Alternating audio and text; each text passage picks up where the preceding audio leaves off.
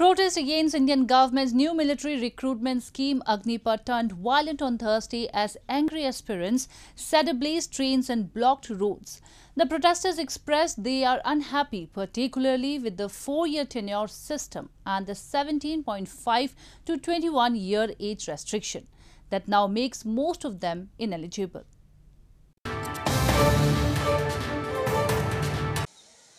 Angry protesters set ablaze at least three trains in India's eastern Bihar state on Thursday as protests erupted across the country against the government's new military recruitment scheme Agnipath.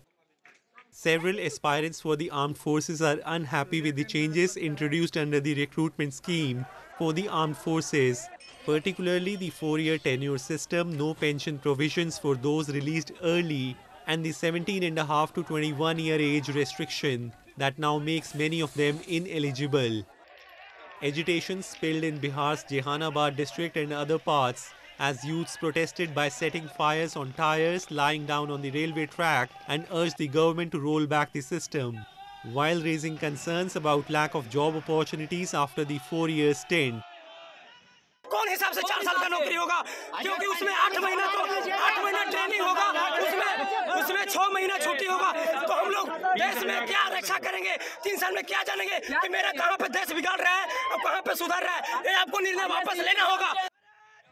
Young armed forces aspirants also blocked traffic at several places in Haryana and Madhya Pradesh states against the new policy, under which only 46,000 soldiers will be recruited this year. Defense Minister Rajnath Singh, while unveiling the scheme on Tuesday, had said a more youthful profile will help train troops more easily in newer technologies, and their health and fitness levels will be much better. The new policy assures a quarter of recruits will be kept on after the end of their term.